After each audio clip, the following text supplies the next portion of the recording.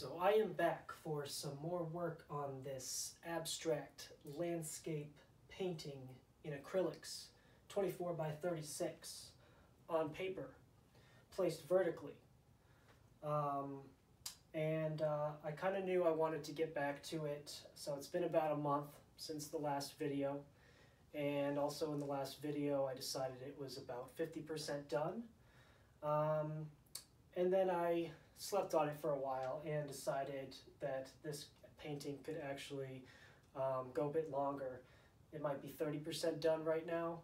Um, and the main reason is that I want to build up some texture with the colors that are present already just by adding more and more layers and um, sort of leaving chance for um, interesting things to happen.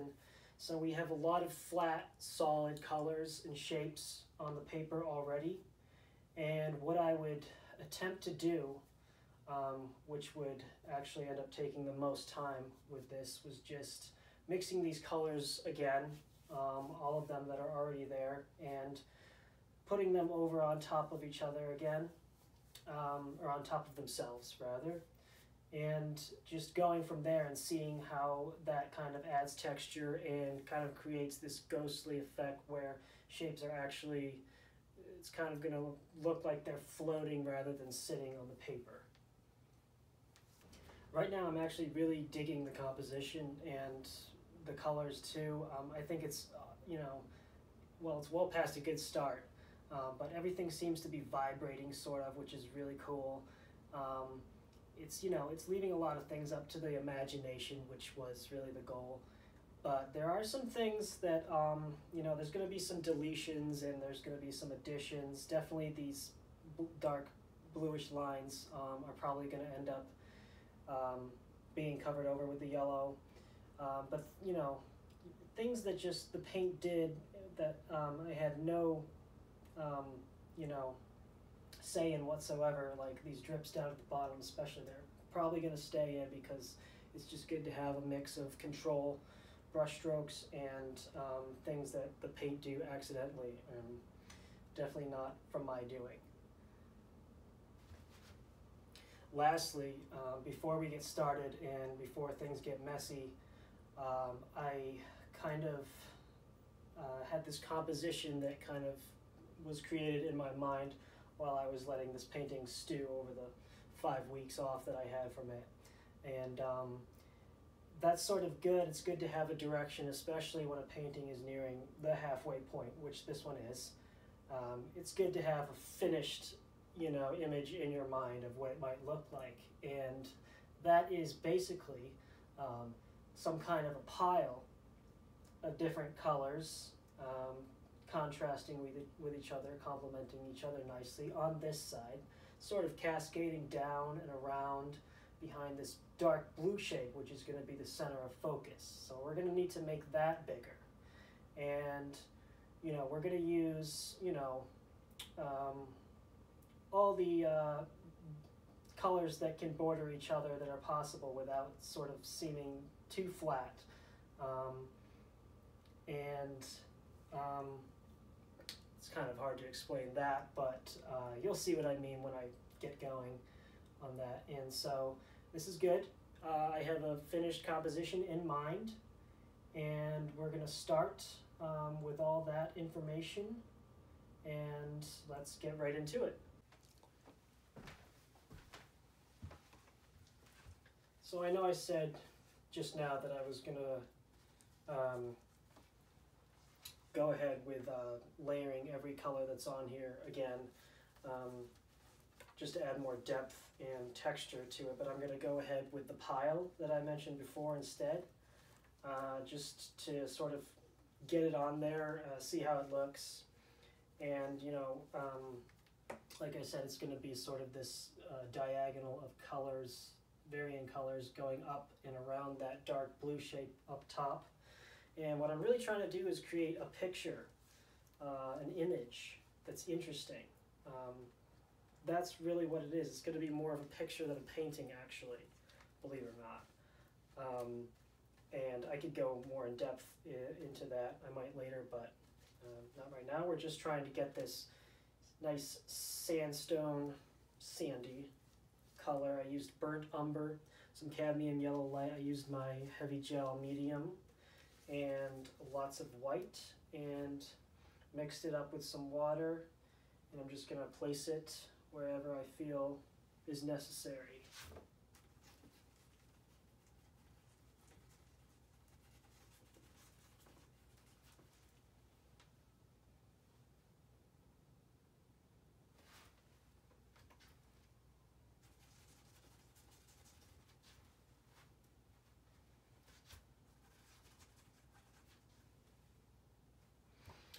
I probably could have used a smaller brush. I actually didn't even want uh, that big of a shape. Um, so you know what I'm going to do is just scrape some of it away. Maybe, can I bring back that red? I don't know. Well, definitely if I spray it.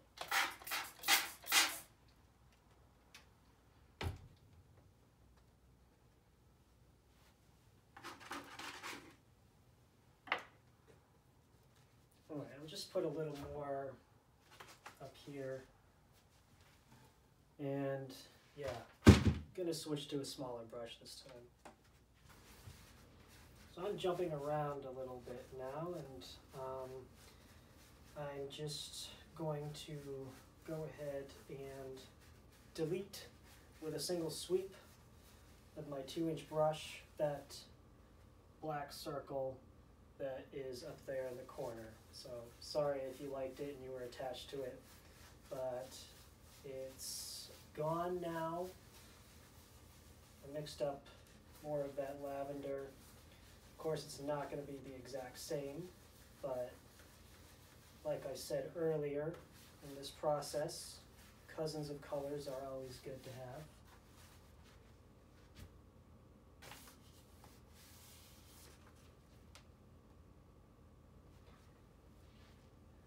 So this is my two inch brush um, and I wanted to utilize some different techniques. So I grabbed a larger, wider flat brush and you can definitely see that that was used if you look closely enough. So um, some interesting uh, varying techniques are already starting to take place in this painting. Going to keep taking this color, I'm going to thin it out a little bit with water and see where else I can go with it. Probably some time to switch to a smaller brush actually.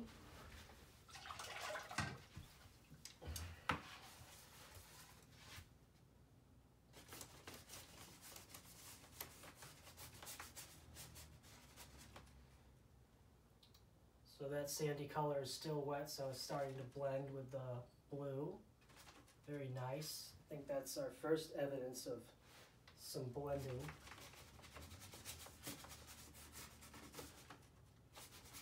Can't forget to move diagonally too.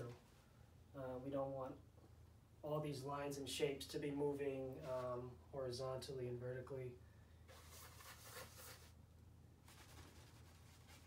That's going to enable us ultimately to get that um, vibrating, floating effect that we want with these shapes that occur in nature. Trying to imitate nature is what we're doing.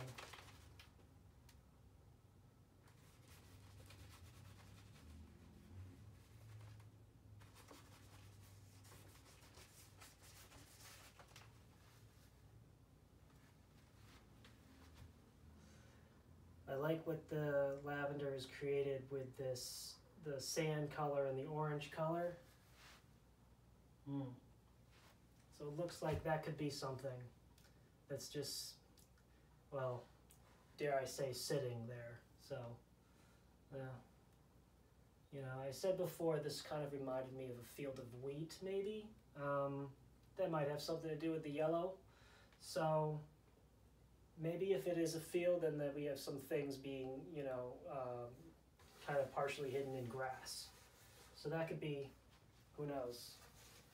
I can't even put words to it, but it's it's interesting right now.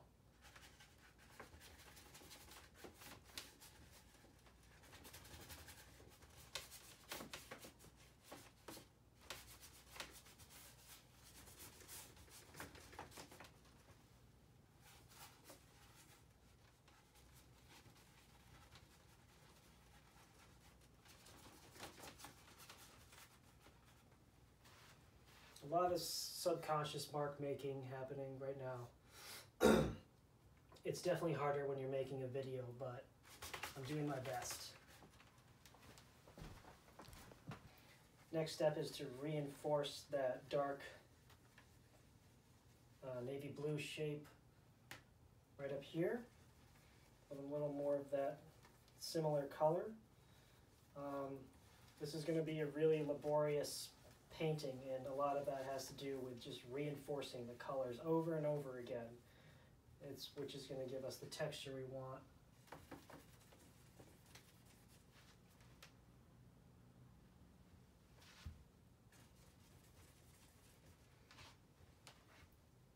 I'm going to put a nice hard line in one corner.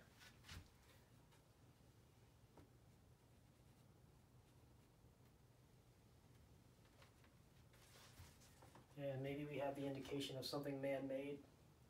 Um,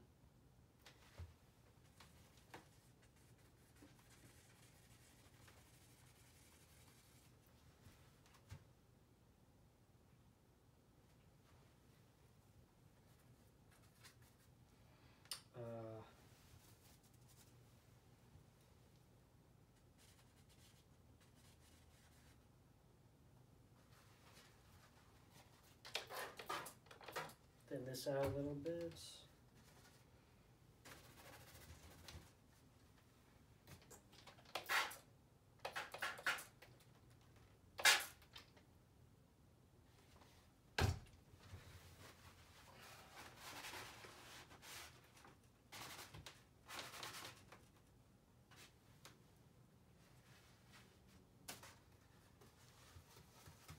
Put this color somewhere else. Definitely need it down here.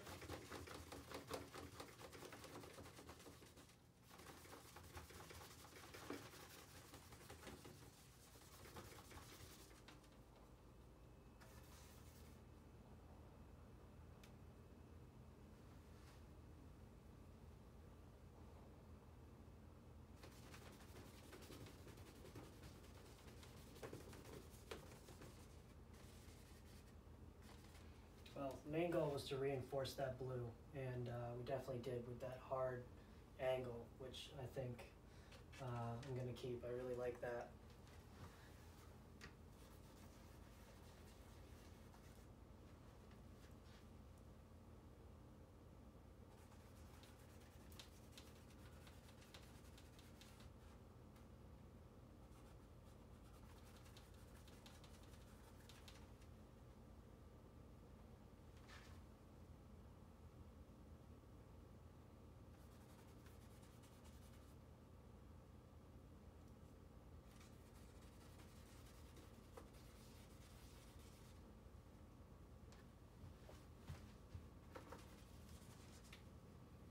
Having trouble seeing in this light a little bit.